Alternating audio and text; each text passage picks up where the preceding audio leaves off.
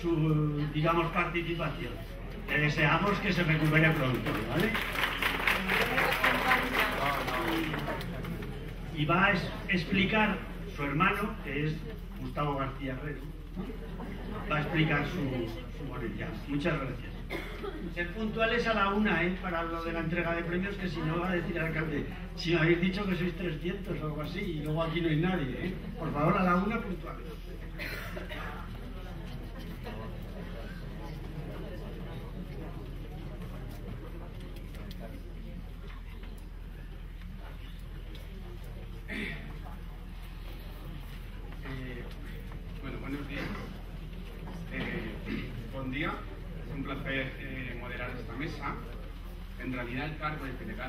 6 para el modelo social valenciano, pero en realidad es para impulsar los servicios sociales valencianos. Es decir, es para impulsar eh, este ámbito que en el país valenciano pues, ha sufrido mucho. Antes de presentarla en la mesa, yo quería decir, pues, escuchando, a, escuchando anteriormente a la mesa, los, ¿cómo construir en el país valenciano un nuevo relato o unos nuevos servicios sociales? Y decía, si es que los servicios sociales valencianos han sido destruidos han sido plenamente... Vale. Bien. Vale. Decía que en el país valenciano estamos en un proceso de construcción de los servicios sociales. La destrucción de los servicios sociales, la fragmentación, la sectorialización y el modelo de, de agencia se impuso y se ha impuesto en los últimos 20 años. En estos momentos incluso al margen de ideologías, el imaginario de los políticos, de los profesionales, de los estudiantes de trabajo social, de todos aquellos que se acercan a los servicios sociales, es un imaginario de agencias. Es un modelo que ya está. Nosotros lo estamos sufriendo. En estos momentos es un modelo alejado del sentido de ciudadanía, es un modelo alejado del sentido de comunidad. Es un modelo el que tenemos en el país valenciano del negocio, de lo mercado, del mercado incluso pasando del negocio al mercado a la corrupción. De hecho, hemos tenido los últimos nueve consejeros imputados, algunos de ellos en la cárcel, y esperamos que alguno más entre. A partir de ahí, ¿cómo reconstruimos un nuevo modelo? ¿Cómo reconstruimos un nuevo modelo? Es un reto para nosotros muy importante. Posiblemente para vosotros algunas de las cosas que vayamos a ir avanzando es viejo modelo, pero para nosotros es muy nuevo en este sentido. Queremos construir ese imaginario, queremos incluir eh, en este sentido.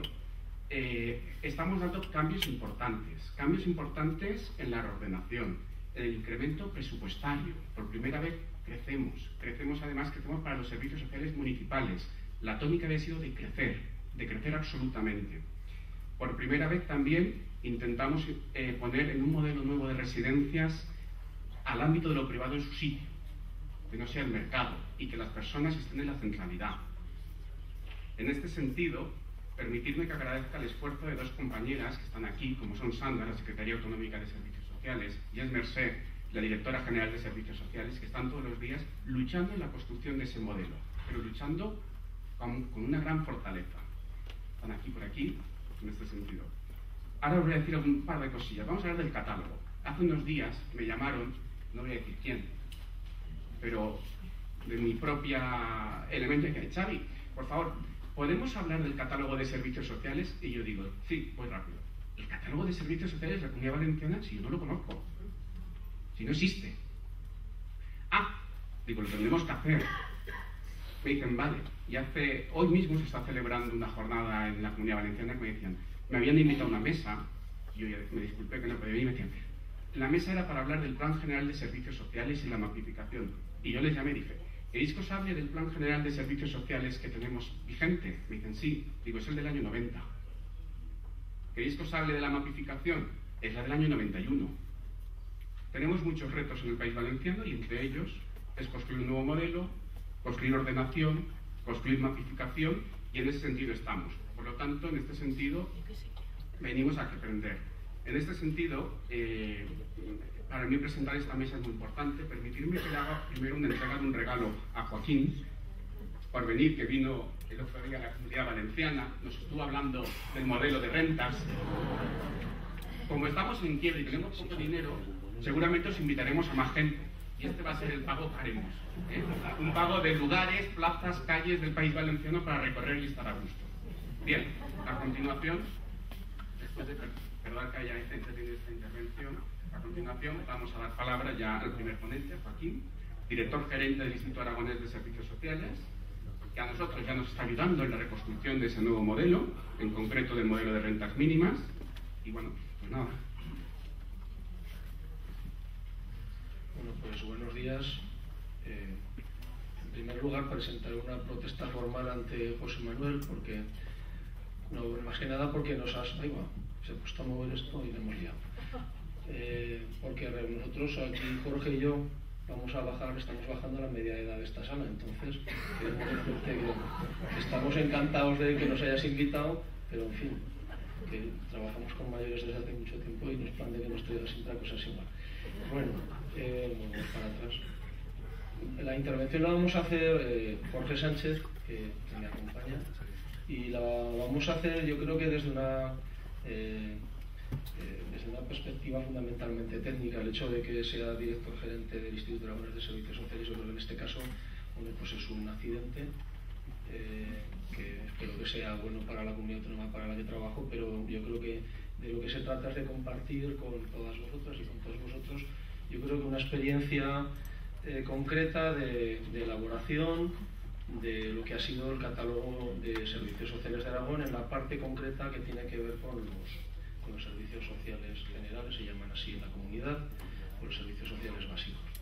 Eh, bueno, yo creo que eh, fundamentalmente lo que vamos a contar es desde qué punto de vista elaboramos el, catálogo que se hizo ya hace eh, seis o siete años, lleva funcionando ese tiempo con un parón un par de casi de cuatro años en los que prácticamente no se ha desarrollado nada, pero se elaboró su momento y hemos retomado ese trabajo en la actualidad el proceso de conceptualización que hay detrás de esa elaboración del catálogo, los elementos fundamentales que lo enmarcan y las prestaciones concretas. Voy a intentar un poquito no detenerme demasiado.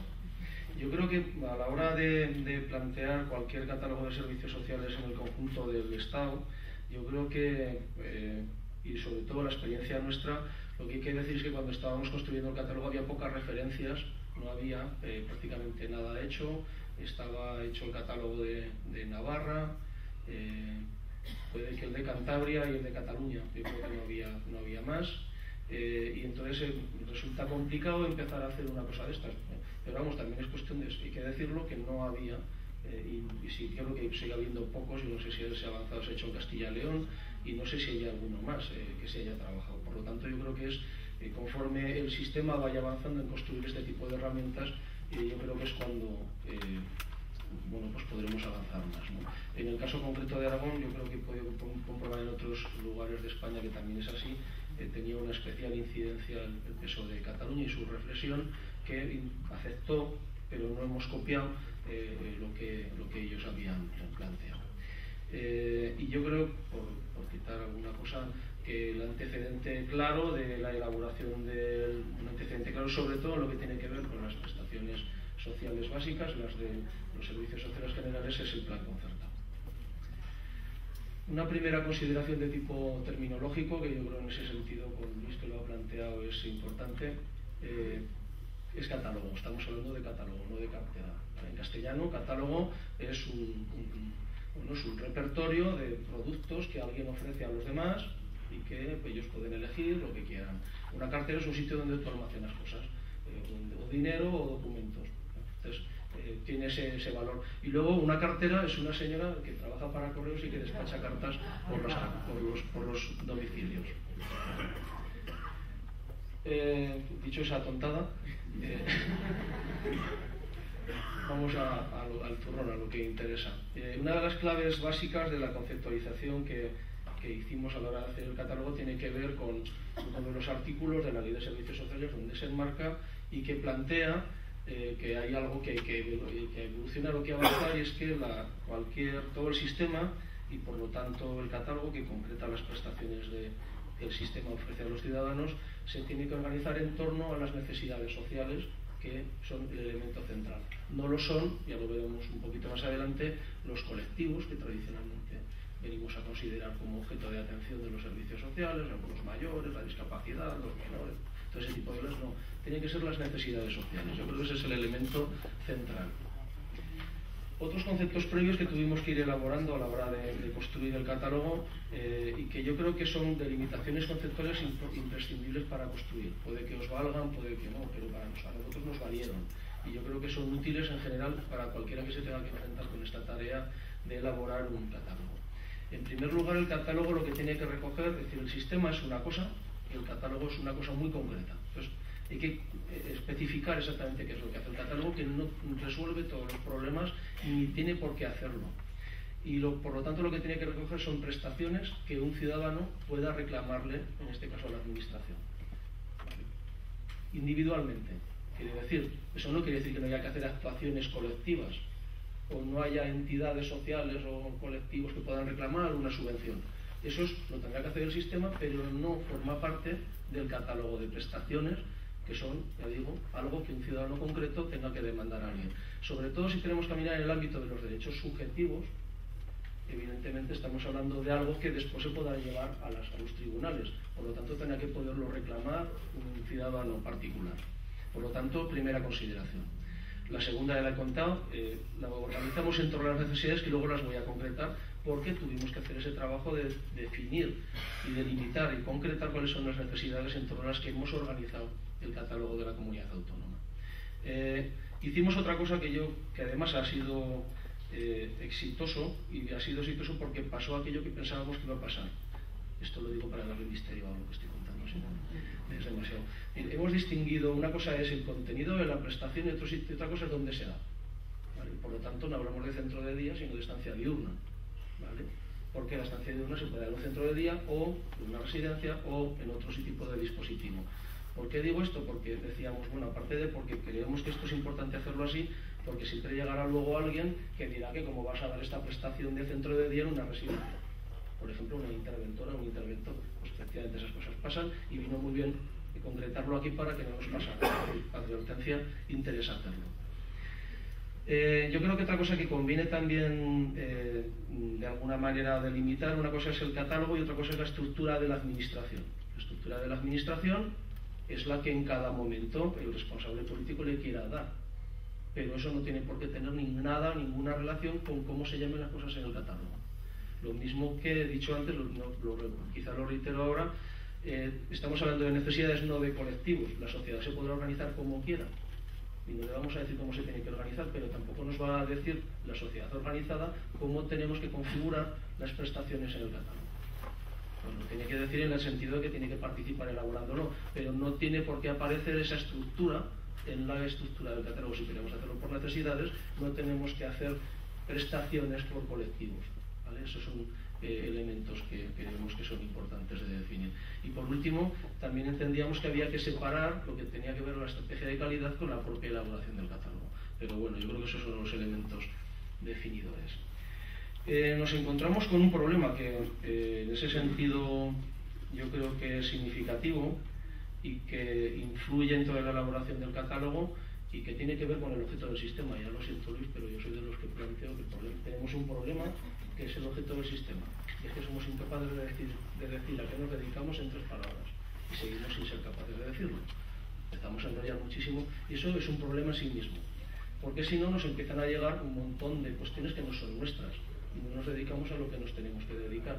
Y eso, como la empanada mental la tenemos todos y todas, esta, la pregunta que nos dedicamos yo la habré hecho en un montón de actos y se habré preguntado por lo menos a mil personas. Y no me ha sabido contestar nadie o casi nadie. Eso es un problema. Tampoco es un problema en sí mismo. Es decir, todas las ciencias, todas las disciplinas, la ciencia misma empieza por plantearse el objeto de su ser científico. Por lo tanto, no pasa nada porque nos preguntemos cuál es nuestro objeto científico de actuación. Si no lo sabemos, ¿qué narices vamos a investigar? Eh, las necesidades a las que tenemos que atender, nosotros pusimos esas seis. Tuvimos que descartar otras, por ejemplo, el ocio y el tiempo libre. ¿Se dedica los servicios sociales al ocio y al tiempo libre? Si nos vamos a un hogar de mayores, seguro que ahí hay cosas. Y si nos vamos a un centro de discapacitados, seguro que hay cosas. Y si nos vamos, claro, son instrumentos que utilizamos para hacer la atención, pero no son el objeto del sistema. Porque si no, yo decía, en esa broma que nos hacíamos interna, tendremos que acabar organizando las fiestas del Pilar de Zaragoza porque nos encargamos del ocio y del tiempo libre. Este tipo de paradojas en la construcción del catálogo se producen. Bueno, las seis que son que hay son esas, y si, si las veis os van a sonar. Los que conozcáis el plan concertado os van a sonar, porque están ahí las necesidades y no nos hemos inventado especialmente nada, sino que simplemente hemos recuperado lo que ya era esencia misma del sistema. En ese sentido es cierto que sabemos a qué nos dedicamos, pero lo sabemos explicar mal. Y hemos incorporado a lo mejor alguna nueva, fundamentalmente la que tiene que ver con autonomía personal, que a lo mejor, bueno, pero bueno, serían esas, por no enredarme mucho más. Esas necesidades eh, configuran en realidad el sistema en este sentido, lo que tiene que ver con el catálogo, viene muy bien para hacer la delimitación de a qué se dedica el sistema de servicios sociales y por lo tanto nuestro estar en el ámbito del, bienestar social. Eh, hay dos, yo entiendo o planteo que entendamos el sistema o sobre todo lo que tiene que ver con el catálogo como un doble cuadro. La línea roja de fuera son las necesidades sociales que atendemos. Algo que no pertenezca a ninguna de esas seis necesidades sociales está fuera. No es nuestro que se lo coma quien se lo tenga que comer, pero nosotros no. Otra cosa es que aquí ya tendríamos que hablar de políticas transversales, de coordinaciones horizontales, vale, que hay que colaborar con el diálogo, por supuesto. Ahora, lo mío es lo mío y lo tuyo es lo tuyo. Y que tendremos que trabajar entre el trozo del medio, que se nos cae cosas y gente, vale, sí, pero, ojo, coordinadamente.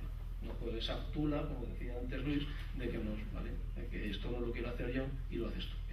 Y el catálogo lo que configura es la, parte de dentro, ese cuadrado de dentro, Estamos utilizando un símbolo que es el símbolo del catálogo de Aragón, que es ese arbolito con, en realidad lo configuramos como un árbol.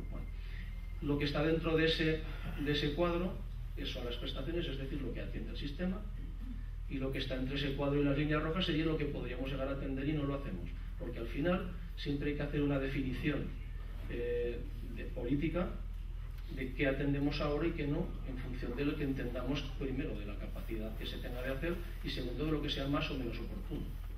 Bueno, eso sería, sería el cuadro.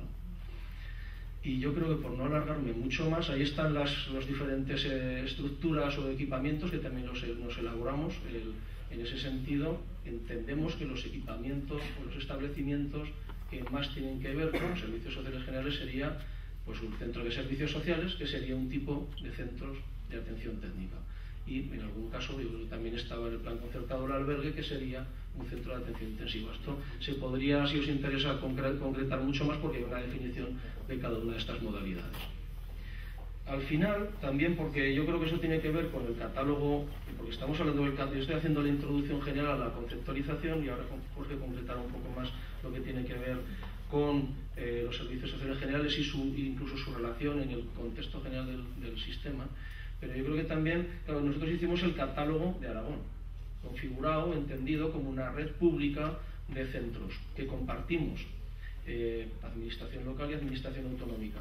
Pero en ese sentido lo que definimos es que estábamos definiendo aquellas prestaciones que eran financiadas por la comunidad autónoma, entendiendo que había una parte de, prestaciones propias de la administración local que eran de financiación autonómica, que eran parte del catálogo de Aragón prestadas por la, administración local.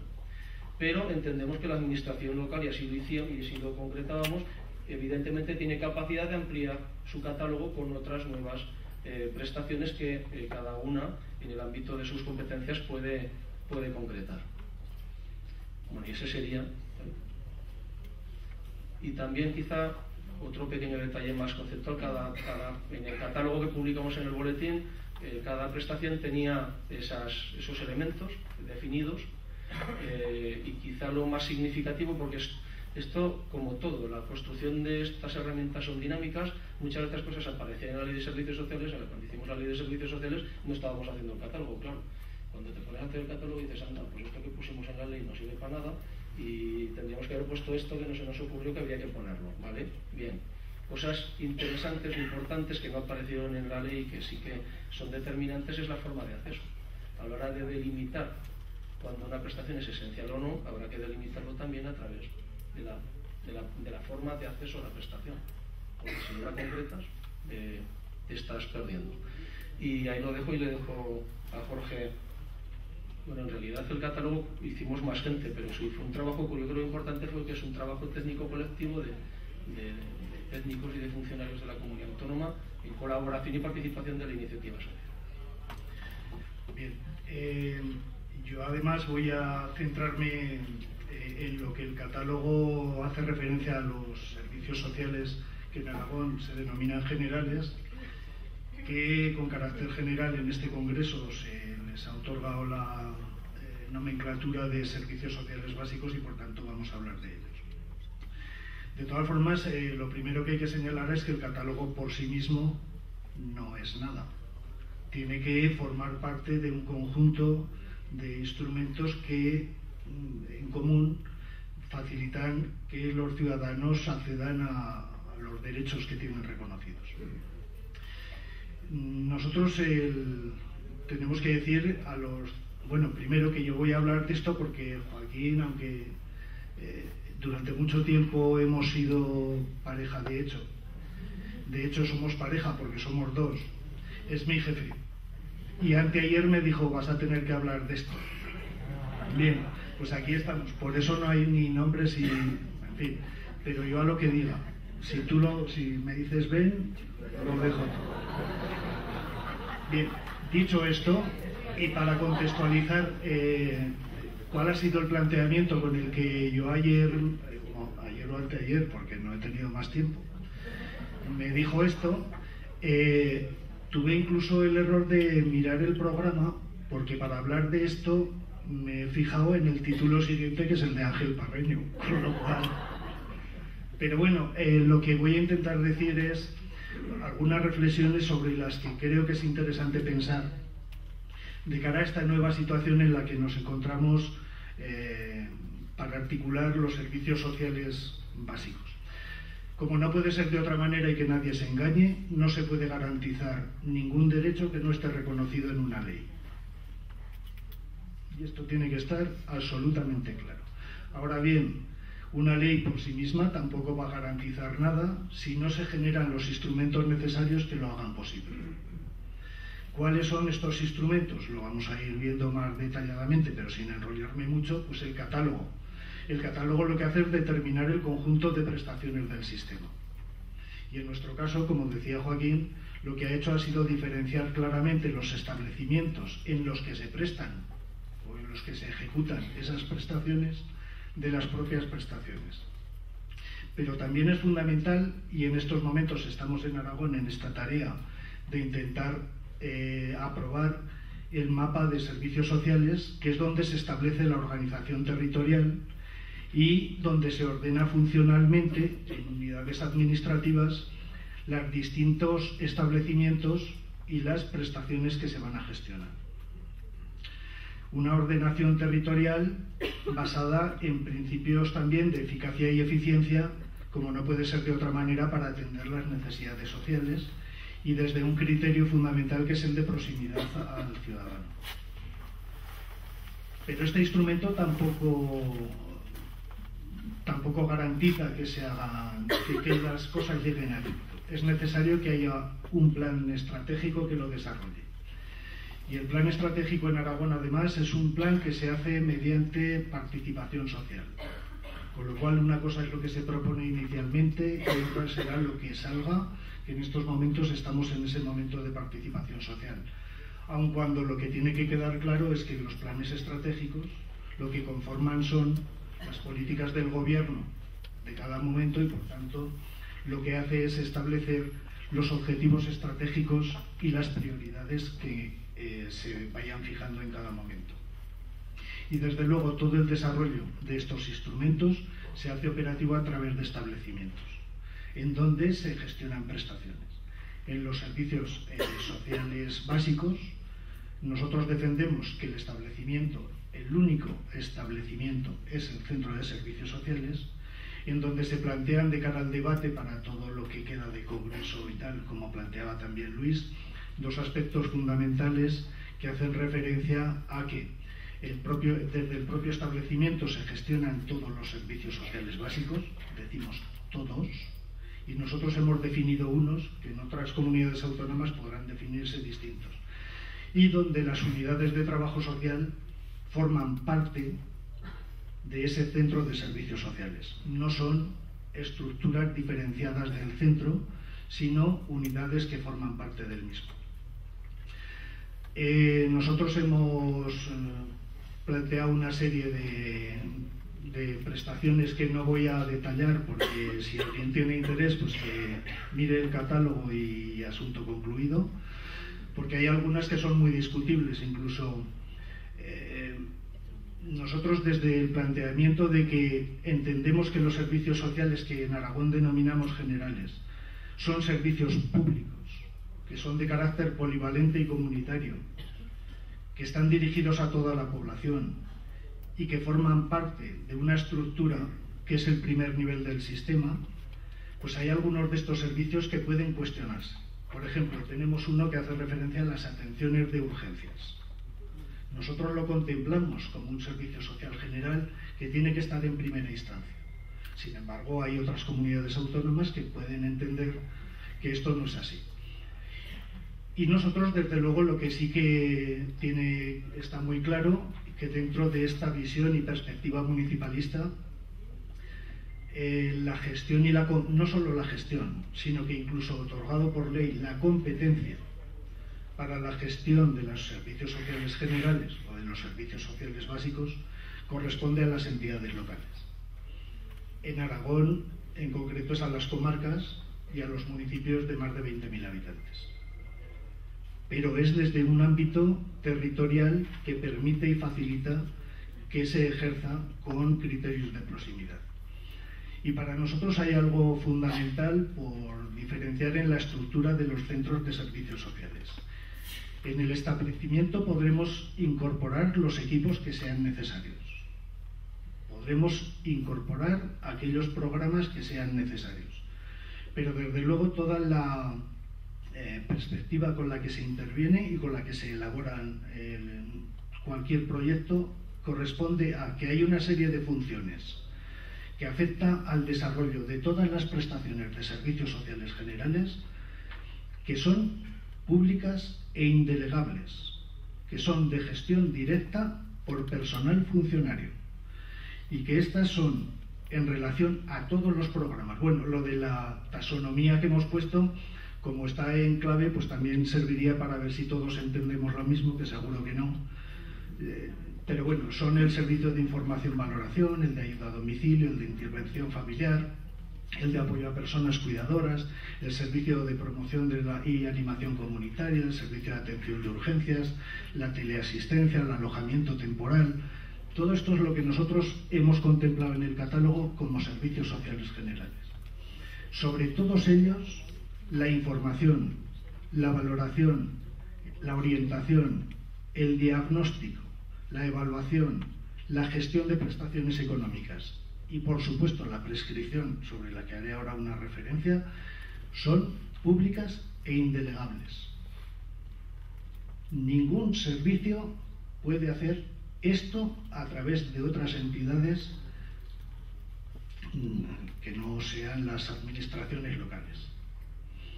Por eso hemos señalado que hay una serie de funciones específicas después en cada uno de los servicios, como por ejemplo el más fácil para que se entiendan, ayuda a domicilio, la atención personal o la atención doméstica sí que puede realizarse a través de contratos con empresas del sector, pero no la valoración de qué personas deben ser atendidas, ni en qué condiciones tienen que ser atendidas, ni qué tipo de atención tienen que recibir. Entonces, este es uno de los criterios que para nosotros es básico y fundamental. Y ya por terminar, eh, y para, dejar un poco en el aire algunos pensamientos que tienen que ver con lo que se va a hablar después en relación a, bueno, a mí un tema que me interesa mucho, que es el de puerta de entrada. Como resumen, decir que los derechos garantizados en la ley se concretan y ordenan mediante instrumentos, se operativizan desde los centros de servicios sociales, que gestionan los servicios sociales básicos, y cuyos equipos multidisciplinares realizan funciones públicas indelegables de atención directa. Y decimos, y aquí lo ponemos para relacionarlo con la ponencia posterior, para el acceso al sistema, y entonces ahí tendremos que analizar cuál es nuestro papel profesional en el acceso al sistema, a través de la prescripción, es decir, todo es a través de prescripción nuestra o no. Gracias.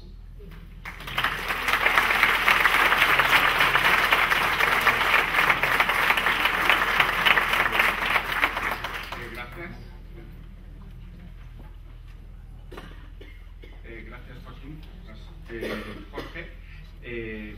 Yo ya he aprendido mucho, ya he anotado aquí muchas ideas para que el público lo sepa. A continuación tiene la palabra Ángel Parreño, director del Centro Municipal de Servicios Sociales de Alcázar de San Juan, con la ponencia Un método para determinar los recursos humanos en los servicios sociales comunitarios en ayuntamiento. ¿No? Criterios, perdón, criterios para la organización de los servicios sociales básicos.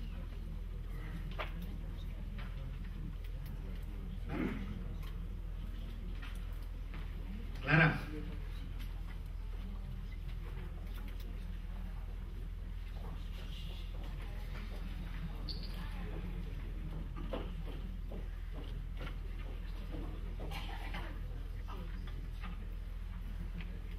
Había aquí un botón y he estado todo el tiempo tentado de pincharle. Por si acaso no lo quería. Sí. ¿Vale? ¿Estamos?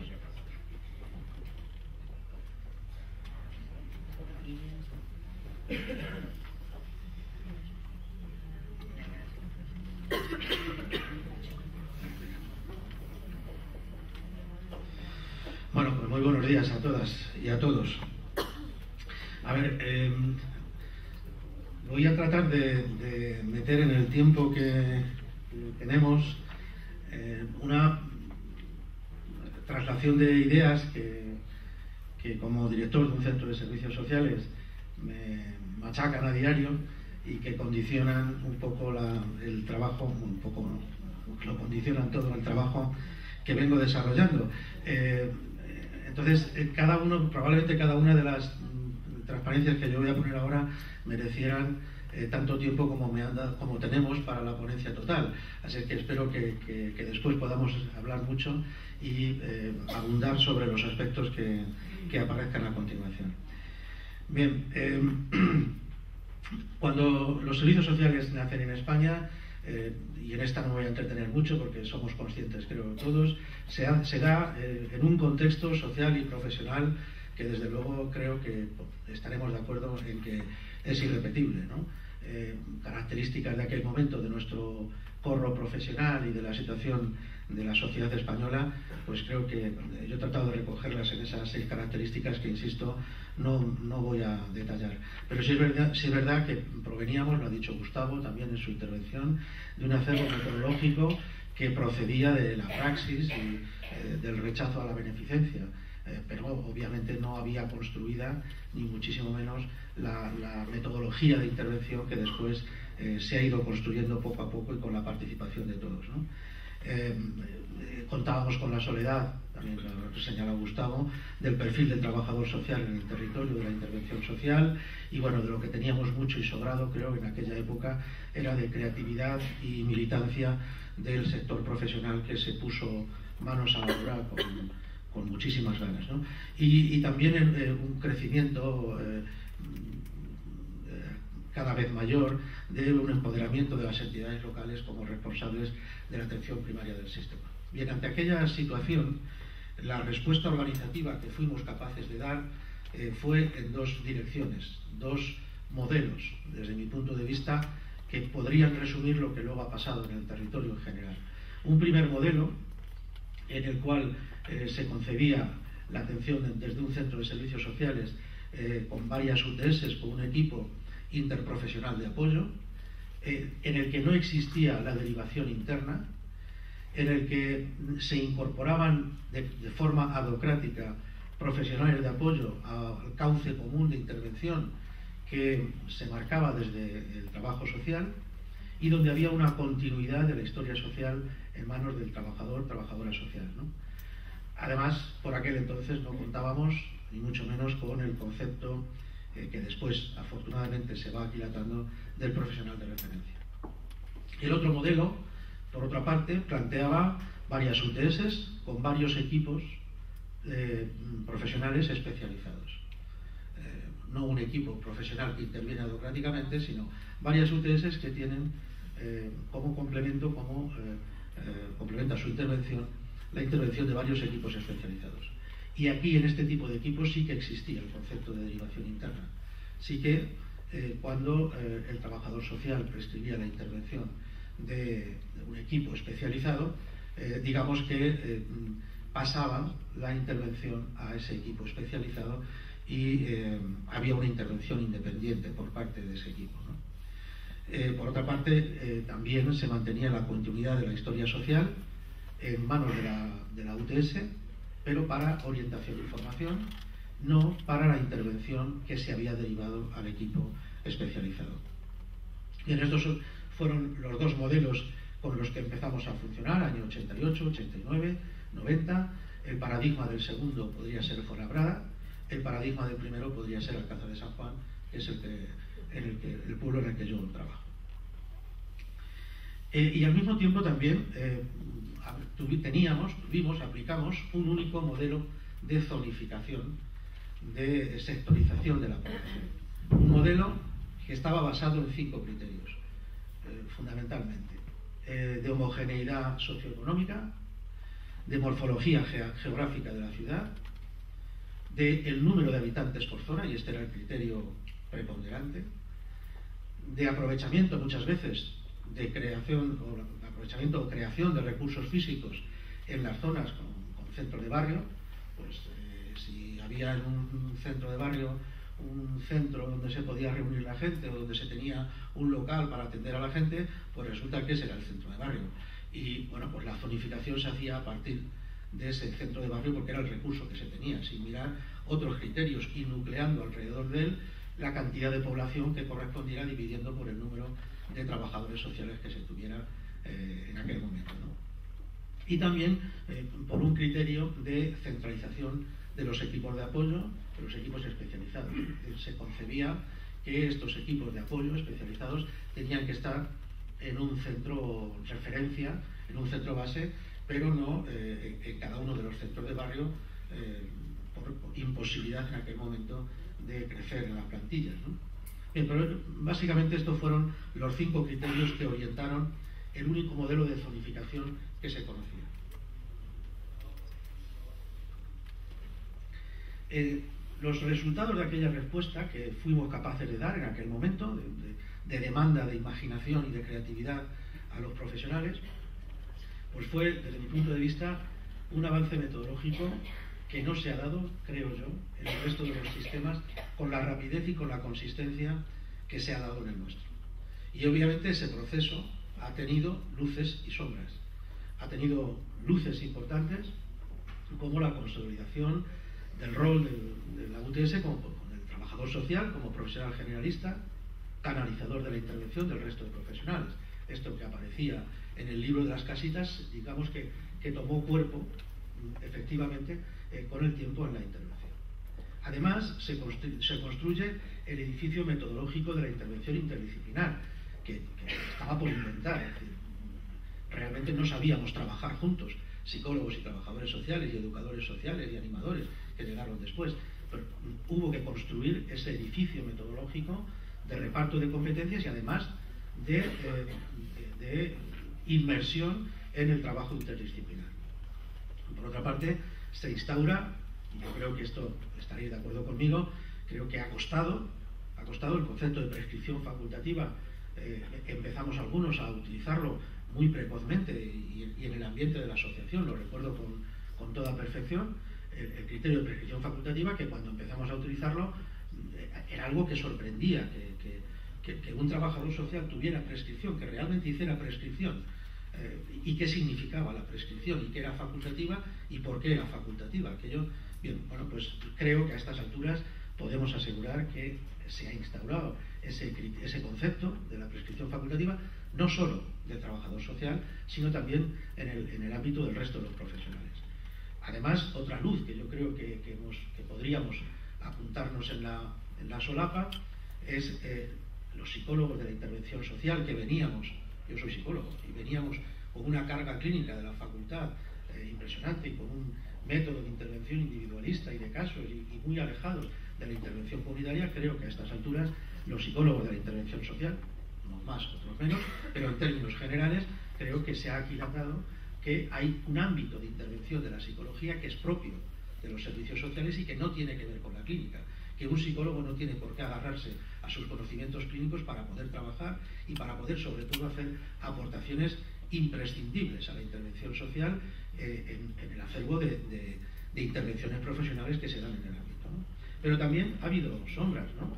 El trabajo social hemos consentido entre todos, forzado de verdad por las administraciones, pero también en muchas ocasiones por los propios profesionales, eh, que, y esto lo hemos dicho en algún otro congreso de la asociación, que eh, hemos encontrado en los papeles un mecanismo de defensa para ocultarnos otras cosas que hemos dejado de hacer, que son mucho más complicadas y que nos crean mucha más ansiedad cuando cerramos el despacho y nos vamos a casa. Así es que el trabajo social se ha llenado de papeles y las prescripciones se han convertido todas en procedimientos administrativos, cosa que lastra el sistema de una forma impresionante y yo creo que en esa, en esa reingeniería que, tenemos todos que hacer y que, de la que Luis hablaba y en la que yo abundaré ahora un poquito, eh, creo que tenemos que pensar como uno de los elementos fundamentales. Tenemos, que se nos explique, que se nos explique, de una vez, empecemos por explicarnos nosotros, por qué mi médico de familia, que gasta 20.000 veces más que cualquiera de los trabajadores sociales que trabajamos en mi centro, a base de prescripciones facultativas que no necesitan ningún tipo de procedimiento administrativo. Entre, entre eso y lo que hacemos nosotros, digo yo que habrá un término intermedio. Y ese término intermedio o lo buscamos o nos convertiremos en lo que decía Luis, meros administradores, meros pasantes, meros administradores de soluciones puntuales. Y también otra sombra, el trabajo social, lo ha dicho Luis, y creo que estaremos todos de acuerdo, también presionado por la, por la demanda, por lo que nos ha pasado todos estos años, desde luego por la crisis, porque nos ha caído nada más y nada menos que un derecho subjetivo, por fin, encima y que hemos tenido que gestionar, eh, pero por eso y también por la presión de las administraciones y también por esa ligazón eh, mm, al procedimiento administrativo de los profesionales, el trabajo social ha abandonado la intervención comunitaria y se ha ido dejando en manos del resto de profesionales. Y es verdad que el trabajo de, intervención comunitaria que hacen el resto de profesionales, educadores sociales, animadores y psicólogos, es magnífico. Y hemos añadido al, conjunto de la intervención social, todos esos profesionales hemos añadido, añadido lo mejor de nuestros conocimientos y además, lo mejor de nuestra militancia en el sistema. Pero también es verdad, igual que es verdad eso, también es verdad que echamos de menos lo que tiene el trabajo social de comunitario. Y eso el sistema se lo tiene que hacer mirar. Porque si no, probablemente estaremos haciendo intervención comunitaria, pero no la que debemos hacer y no como la debemos hacer. Así que luces y sombras. Pero bueno, eh, con todo y con eso, eh, insisto, eh, un avance metodológico inusitado en otros sistemas. Bien, la, la cuestión ahora con esta historia, y que en cuatro palabras he, querido reducir, es qué hacer en estos tiempos de cólera. Y utilizo la terminología de una compañera, Esther Raya, que aunque no haya leído el artículo de, Esther Raya de Trabajo Social en tiempos de cólera, se lo recomiendo mm, encarecidamente, como libro, como, como artículo, no sublibro, como artículo de. Miren, ¿qué hacer en estos tiempos de cólera? yo me planteo estas cosas que os digo aquí. Primero, acudir a los principios y revisarlos. A los principios a los que nos orientaron en aquel momento, es decir, a los principios que no han cambiado. Me, llama la atención, de nuevo, cuando eh, yo he colaborado también en, elaborar el catálogo de, los servicios sociales de Andalucía y cuando tuve que hacer, eh, eh, me enfrenté a esa tarea y para tratar de organizar lo que los andaluces estaban haciendo en materia de servicios sociales, la única forma lógica de, ordenar aquello fue a partir de las necesidades. Y qué curioso que en un 90 y no sé cuántos por ciento coincidían con las necesidades sociales básicas del plan concertado. Es que no tenemos que inventar tampoco grandes cosas, tenemos que depurarlas, tenemos que aquilatarlas. Podemos perfectamente, ¿no? acudir a los principios, porque los tenemos y muchos, y, muy buenos. Así es que acudir a los principios, y es verdad que revisarlos, la sociedad española no es la misma, hay que revisarlos, pero los principios están ahí. En segundo lugar, ¿qué, hacer en estos tiempos del cólera? Pues hay que atrevernos con la reingeniería de nuestras organizaciones. No pasa nada porque nos pongamos a pensar cómo puedo reorganizar mi equipo ¿Y cómo puedo reorganizar los procesos de mi equipo? No pasa nada, no, tienen por qué caerse eh, eh, torres constructivas de, funcionarios ni no sé qué. No pasa nada, podemos, tenemos eh, un margen, una ventana de, posibilidades a la hora de reorganizarnos y, y en ese sentido os propondré alguna. En tercer lugar, tenemos que investigar. Luis lo dice, pero es que es un clamor.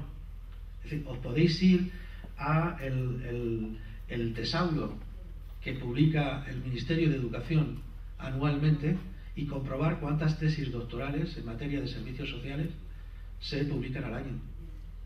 Y las que se pueden encuadrar en materia de servicios sociales corresponden a cosas tan alejadas de nuestra realidad y de nuestras necesidades como el tema de la seguridad social, por ejemplo, o las pensiones.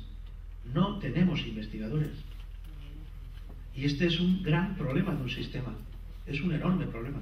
Eh, tendremos que empezar a pensar cómo arreglamos eso, cómo incentivamos a los profesionales. Ahora, las leyes de segunda generación de los servicios sociales, todas, todas hablan de la necesidad de la investigación y del compromiso con la investigación, pero eso hay que saber hacerlo. La mía, la de Castilla-La Mancha, habla de la necesidad de la investigación, pero hay que saber hacerlo. ¿Cómo vamos a incentivar a los profesionales para que alguno decida sin riesgo de su vida ni de su familia, apartar la intervención durante un tiempo y dedicarse a la investigación.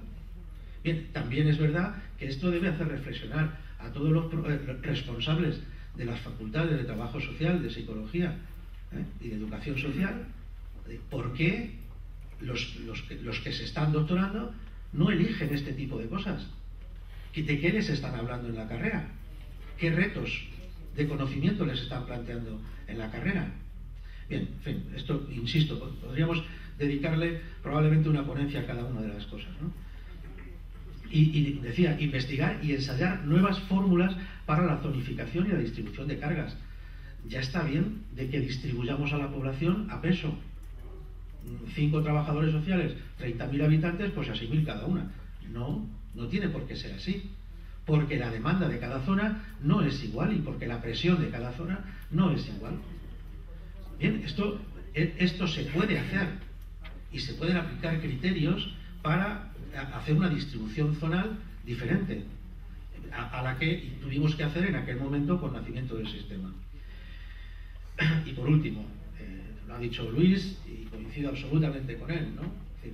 no seremos, no eh, conseguiremos que el sistema se sostenga si no hacemos caso a el hecho de que cada vez más la sociedad y hasta nuestro lenguaje, que mira que nos cuesta cambiarlo a veces, hasta nuestro lenguaje está hablando cada vez más de lo sociolaboral, de lo socioeducativo, de lo sociosanitario.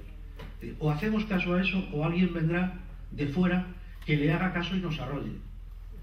Por lo tanto, tenemos que investigar y ensayar cómo se trabaja con esos otros sistemas, qué significa nuestra prescripción facultativa en relación con la prescripción facultativa de esos sistemas, cómo se pueden crear equipos compactados, integrados entre esos sistemas, cómo se puede trabajar desde lo local, por supuesto, en integración de acciones, etcétera, etcétera, ¿no? Y, por supuesto, con el tercer sector. Es decir, ahora va a resultar que nosotros, que nos metimos en el ADN que teníamos que dinamizar a la sociedad, que la teníamos que responsabilizar también de, eh, darse servicios, de ayudarse, de participar. Y además se lo, eh, se lo comunicamos como un derecho, de cuando acá ahora nosotros vamos a eh, renunciar al hecho de que la sociedad se organice. Y se organice para intervenir, no se organice solo para opinar. Y si se organiza para intervenir, o nosotros diseñamos y nos adelantamos en el diseño de intervenciones conjuntas, reconociéndoles la carta de realidad que tienen y su capacidad, que en muchas ocasiones es por lo menos igual a la nuestra, o hacemos eso, o también estaremos consintiendo que las ONGs, que los tercer sector, vengan y nos arrollen en cuanto tengan algún político que se preste. Así es que estos, a mí me parece que estos son las cuatro, seguramente que hay alguno más, pero me parece que estos son los cuatro grandes retos que tenemos por delante, sobre todo en la atención primaria. Y desde luego, hay que tratar decía José Manuel, no veo gente, el nivel de edad, la media de edad del auditorio es la que es. Hay que, esto lo han mejorado, hay que reconocerlo. Pero, pero eh, eh, vamos a ver, tenemos que ver cómo incorporamos a este tipo de preocupaciones a la gente que está saliendo de las facultades. ¿eh? porque si no, malamente, malamente podremos meterle mano a esto. Así es que, además de estas cuatro cosas, a mí me parece que es necesario, ahora más que nunca, y no quiero hablar del ambiente sociopolítico, ahora más que nunca comprometerse con el desarrollo del sistema y con los principios del sistema. Bien. Los principios, mm, no me voy a entretener, son del dominio público y el que no los tenga, pues que se los busque. Pero a mí me ha parecido eh, que, como mínimo, tendríamos que pensar en esto. Eh, y me ha, encantado la intervención de Luis, como creo que a todos, y, está, yo creo que este, este planteamiento que yo hago está en, lo genérico que él, ha hecho. El concepto de la intervención como itinerario. no podemos seguir interviniendo puntualmente eh, desde el punto de vista prestacionista, eh, con la problemática concreta de cada momento, sino que tenemos que plantearnos la intervención como un itinerario que recorremos junto a la persona con la que estamos trabajando. El concepto del acompañamiento social, fundamental. Esto lo dice este Raya y lo dice con mucha más clarividencia que lo digo yo. Eh, pero eh, es verdad, dejar de entender que nuestra intervención en la vida de, los, de nuestros usuarios es una intervención que los solapa, que los sustituye. Nuestra intervención tiene que ser de acompañarlos en un camino, donde además en ese camino tiene que estar, en la percepción de ese camino, tiene que estar el sueño de dónde quieres llegar y también tiene que estar la posibilidad segura de que vas a recaer o de que vas a fracasar y yo tengo que seguir, no puedo echarte porque fracases. Eh, por tanto, el acompañamiento social, la intervención centrada en la persona, que bueno, pues vendría a ser eh, en parte lo mismo. El concepto de empoderamiento, que lo ha, lo ha enunciado Luis perfectamente. Es decir, quien tiene que decidir sobre la vida de los usuarios son los usuarios y nosotros estamos ahí para acompañarlos, para ofrecerles alternativas y ayudarles a construir eh, ese, sueño en lo que se quieren convertir. Por supuesto, el concepto de prescripción facultativa. Mm, yo creo que, es fundamental y que debemos eh, agarrarnos a él para eh, evitar todos esos problemas que nos vienen del contacto con otros sistemas el concepto de profesional de referencia, que es algo que como, como término sea, eh, podríamos decir que es muy nuevo, pero como concepto es el de siempre, profesional de referencia, o sea, que cada persona que acude a nosotros tenga a un profesional que es el que, el que sabe eh, cuál es el camino que han decidido entre los dos y el resto del equipo recorrer y al que tiene como brújula en su orientación, en, su toma de decisiones. Ese concepto es imprescindible que volvamos a él, que acudamos a él como principio, que lo revisemos y que lo aquilatemos y lo metamos en nuestra metodología de intervención. Y por último, la intervención interdisciplinar. Como veis, nada nuevo, nada nuevo, pero son los principios que hay que volver a ellos y hay que eh, revisarlos. ¿Y qué reingeniería? En la segunda de las propuestas que os decía, ¿qué reingeniería es posible? ¿Cómo podemos organizar la atención primaria en estos momentos? superada esa, todo este camino que venimos recorriendo. Bueno, pues a mí me parece que, que como mínimo tendríamos que pensar en, en estas tres direcciones. Primero, creo que la práctica nos ha demostrado, y sobre todo con, los, con los últimos, eh, las últimas responsabilidades que hemos tenido que asumir, nos ha demostrado que es necesario consolidar la función del cribado de la demanda. Es necesario consolidar esa figura, el cribado de la demanda. Y para hacer el cribado de la demanda, es decir, la puerta de entrada, para hacer el cribado de la demanda, yo alcanzo a ver dos fórmulas.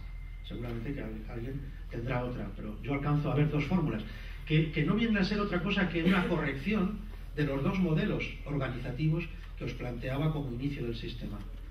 En primer lugar, disminuir la ratio es una opción. Yo puedo eh, meter más trabajadores sociales en la en la base, en la puerta de entrada, aumentar el número de, UTS, impedir la derivación, es decir, que el caso permanezca en la UTS, en, la, profesional de entrada, durante todo el tiempo que, que el usuario está siendo intervenido y encargar el cribado a figuras auxiliares. Se ha intentado, hay sitios donde lo están haciendo.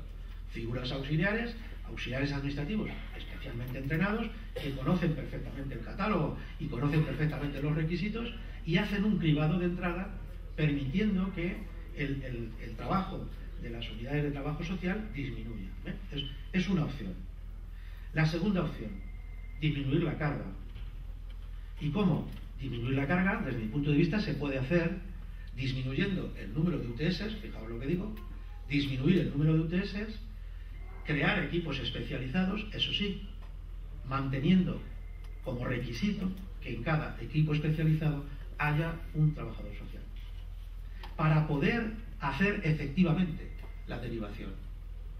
Si derivamos sin tener trabajador social en el equipo especializado, vamos a tener que necesitar el trabajo social que aportaba la UTS de la puerta. Y, esa, de esa organización ya venimos. Así es que podemos disminuir, eh, o sea, el cribado lo podemos hacer de la primera forma o también lo podemos hacer de la segunda. Parece que eso es muy contradictorio. Disminuir el número de trabajadores sociales de entrada y llevarme trabajadores sociales a los equipos especializados que van a, recibir la derivación desde la puerta de entrada, pero van a tener la capacidad de seguir con la historia social y con la aportación de trabajo social a la intervención general de cada caso. Es una segunda opción. Ahora sí, en cualquiera de ellas yo creo que tenemos una obligación, revisar los criterios de distribución de la población. Cualquiera de estas dos opciones fracasará si no tenemos, si no tenemos bien hecho una distribución de la población y obviamente ya no se puede decir bien hecho distribuirla por número de habitantes, y en segundo lugar una condición, mantener el rol del trabajador social como profesional de referencia. Para mí, estos, dos son eh, dos elementos fundamentales a la hora de plantearse cómo puedo reorganizar eh, el equipo, el proceso de intervención de la atención primaria. las dos cosas, ninguna de las dos es perfecta, las dos cosas tiene ventajas e inconvenientes. Gustavo decía que en estas jornadas nos proponíamos desde la asociación, más que dar catecismo, que nunca lo hemos querido hacer, sí dar oportunidades a, la reflexión y que cada uno eh, adapte esa reflexión a su realidad concreta. Primera opción, disminuir la ratio. Factores de riesgo que tiene eso desde mi punto de vista. Primero, en la primera modalidad, estaríamos dando una oportunidad a la perfección de lo administrativo. En segundo lugar, vamos a añadir desde ese modelo dificultades para el enfoque comunitario porque vamos a micronizar la población. Si aumento el número de, trabajadores sociales en la puerta de entrada, estoy micronizando la unidad de, diagnóstico comunitario y por lo tanto creo que eso puede significar una dificultad. En tercer lugar, abandonar definitivamente eh, la intervención comunitaria por el trabajador social porque no solamente se microniza la población, también se microniza el territorio de esta forma y sus características.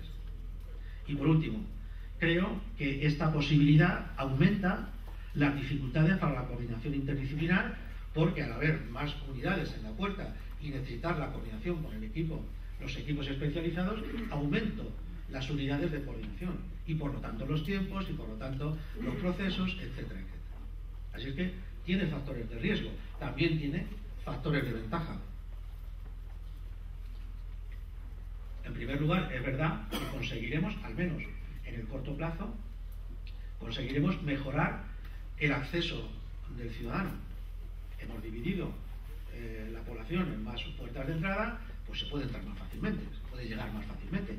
Vamos a, reducir probablemente los tiempos de espera para la atención. Segundo lugar, es verdad que puedo tener más facilidades para la zonificación ¿eh? al, tener, al, poder reducir eh, las, personas, los usuarios de referencia. Es verdad que va a mejorar el trabajo administrativo. Bueno, eh, eso no es un seguro, ¿no? Pero sí es probable que con este modelo pueda mejorar el trabajo administrativo. El, trabajador social podrá hacerlo con más comodidad, el que ya tiene adjudicado hasta ahora, y también las unidades de administración podrán hacerlo con más, con más comodidad porque le vendrá más elaborado, más elaborado desde la, eh, el profesional del trabajo social. También es probable que este modelo tenga menos resistencias que, el otro por parte de los profesionales, porque esto es lo acostumbrado. Cuando se plantea cómo puedo mejorar la atención, inmediatamente recurrimos aumentando más trabajadores sociales. Y, además lo hemos metido en nuestro discurso. Hemos hablado de un trabajador social por no sé cuántos mil, es mejor que uno, un trabajador social por cuántos, no sé, no sé cuántos mil. Y cuando estamos hablando de eso, estamos hablando de trabajador social de puerta de entrada. Entonces, bueno, pues eh, seguramente que tiene menos dificultades, menos resistencias en el equipo, ya sabéis que todos los cambios tienen resistencias, tendrá es, probablemente este modelo menos resistencias que el siguiente que os propondré. Y el último, la última, el último factor de ventaja es que también efectivamente tendrá una mejor, una mejor cabida en el discurso político. Probablemente un concejal acepte más lanzarse a este modelo porque va a poder decir que está ha reducido tiempo de atención, listas de espera, no sé qué. Probablemente este sea más accesible para los concejales, para los... Eh, fuera como fuese, si elegimos este modelo, a mí me parece que habría que establecer de una forma incuestionable la rotación de los profesionales de la puerta de entrada a, corto plazo. Es decir, eh, bueno, pues ya podríamos hablar del burnout y de, todas esas cosas que conocéis igual que yo.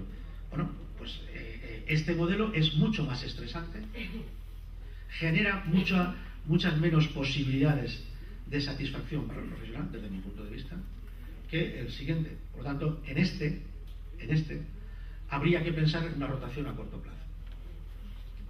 Bien, la segunda opción, disminuir la carga. Mm, ¿Cómo, cómo hacerlo? Pues, eh, en primer lugar, concretando la función del trabajador social de privado.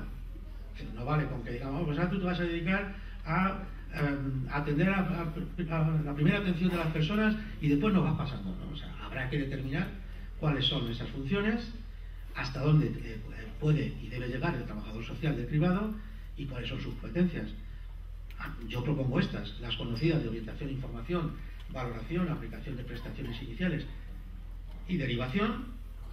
En segundo lugar, desde luego, la primera fase del acompañamiento, por tanto, no se trata de pasar el caso sencillamente porque, bueno, pues ya he hecho, ya le he dado la, prestación y ahora que, que vaya al especializado, ¿no?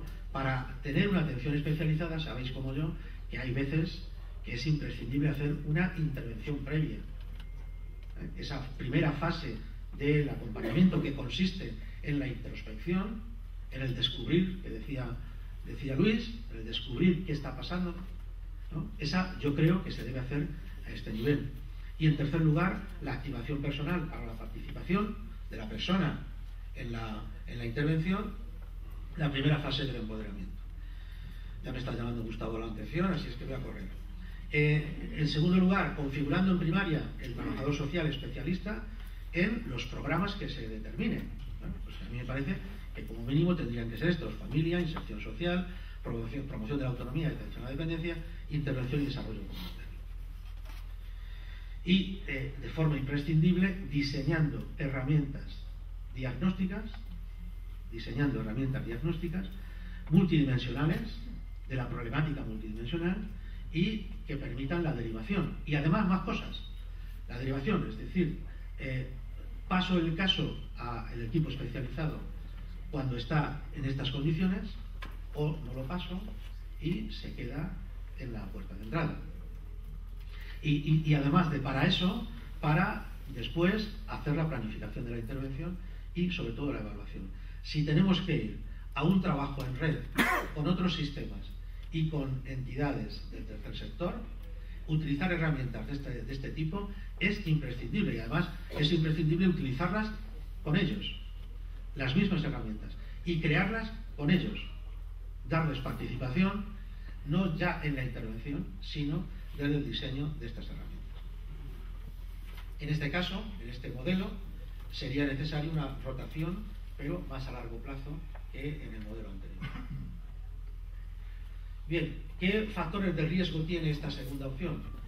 a mí me parece que uno importante es el riesgo de victimización secundaria del usuario porque aumentamos el número de personas que intervienen en, su caso, eh, en esta segunda opción. El segundo riesgo es el, del trabajador social decribado convertido en un mero pasador de casos. El tercero, dificultades en el diagnóstico por la compartimentalización de los servicios sociales. Y el cuarto, dificultades en la valoración de cargas de los trabajadores sociales de privado. En cuanto a los factores de ventaja, a mí me parece que este segundo modelo podría aportar una mejora de la calidad de la atención, en lo que es la intervención más especializada, más detenida. En segundo lugar, el equipo mejora en cuanto a capacidad de compactarse, de integrar sus acciones con otros profesionales de otros sectores, de otros eh, sistemas o del tercer sector. Creo que este segundo modelo da oportunidades mayores que el primero de eh, encarnar el, trabajo social comunitario, del cual, como he dicho al principio, eh, carecemos y echamos de menos. Se produce una mejora ostensible del trabajo interdisciplinar, porque el equipo se configura como equipo y adquiere sus propios hábitos y se generan dinámicas que facilitan ese trabajo. Y por otra parte, creo que hay una mejora del retorno del grado de, satisfacción del ciudadano. Es decir, si, el primer modelo, si el primer modelo da posibilidades al concejal en, cuanto a que ha reducido los tiempos de espera, este segundo modelo los da más a largo plazo porque la gente se siente mejor atendida. Bien, ¿cómo distribuir la población? Y voy terminando. Primero, necesitamos hacer análisis de geolocalización de demandas. Sabemos dónde viven nuestros usuarios y qué tipo de demandas tienen. ¿Por qué no empezamos a estudiar los barrios en función de esas demandas y geolocalizándolas? Podremos así seguramente hacer mejores diagnósticos y podremos así hacer mejor eh, distribución de la población. Eh, y además, por supuesto, siguiendo criterios de población, que no hay que olvidarlo, número de habitantes, pero también podemos añadir otros criterios que valoren eh, la carga que tiene un equipo o un trabajador social. Criterios de carga potencial, valorando qué poblaciones tienen, tienen mayor posibilidades de crear demanda, pues seguramente que personas mayores y probablemente eh, personas con discapacidad, y por decir algunas, bueno, pues si, tenemos claro cuántas personas hay de estas características en cada zona, podremos evaluar la carga potencial que tiene la población que estamos encargando a una zona. La demanda actualizada, porque no siempre eh, la, demanda potencial provoca una demanda real, la demanda real que se está teniendo en ese momento, eh, el peso específico de la demanda. No es lo mismo intervenir en un caso de dependencia que intervenir en un caso de menores e intervenir en una PNC. Bien. El, uso de algoritmos de segmentación de poblaciones. Teniendo en cuenta los, nuevos derechos del usuario, no olvidéis que todas las leyes están ya aplicando, concretamente la Castilla-La Mancha lo hace, la capacidad del usuario de elegir o de solicitar el cambio de trabajador social de referencia. Y por último, descartando la centralización y la deslocalización de los cupos como ha hecho Sanidad, por otra parte, obedeciendo a otras necesidades. Y bien, por eso, gracias. Y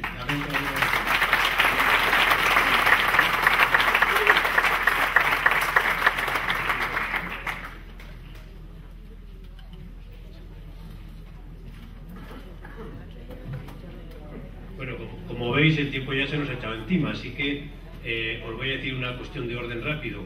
Mirad, la media hora de tomar el café se ha ido al garete, con lo cual cada uno que se vaya a tomar el café molestando lo menos posible a los vecinos cuando considere que es el momento que el cuerpo no aguanta más y necesita un café o una cerveza. ¿eh? Así que no vamos a hacer descanso porque ahora tenemos a las autoridades, no le vamos a hacer esperar, y a los premiados. Entonces que lo tengáis en cuenta, que cada uno, pues, sin molestar mucho y no os veáis todos de golpe, que quedaría muy feo, y menos ahora, pero que diga, mira, pues ahora en este momento me voy a tomar el café o la cerveza. Segunda cuestión, había un tercer ponente que por mala suerte no ha podido venir, pero que por si no, no sé qué hubiéramos hecho con él. Eh, Julio César García, que hubiese concretado lo que estaba diciendo Ángel Parreño, un sistema de cómo eh, determinar las necesidades de personal en, un centro de servicios sociales, un modelo muy operativo que lo ha trabajado porque ha sido jefe de servicios de servicios sociales en el Ayuntamiento de Zaragoza, pero una pequeña intervención quirúrgica la ha impedido venir hoy aquí tiene, nos ha dado la ponencia por escrito, también tenía una presentación en PowerPoint, ya os la haremos llegar. Además, es mi hermano, con lo cual el colega me llevó muy controlado. ¿eh? Y me había dicho, pues preséntalo tú, no da tiempo de presentarlo, evidentemente. Ni tampoco tenemos mucho tiempo del debate, más de dos o tres minutos, así que tú mismo. Pero vamos, todo eso, como lo vamos a mandar la documentación que os he dicho, vais a tener proceso de cómo se determinan las cargas de trabajo, vais a tener eh, ejemplos concretos, qué programas, qué protocolos, y además, aunque hay ejemplos concretos, si necesitáis o queréis algún protocolo de los que no están en los ejemplos, lo vamos a poder tener también. Así que a ello me remito. Tendríamos tiempo para alguna intervención, para alguna intervención cortita. Eh... no, no, no, no, no.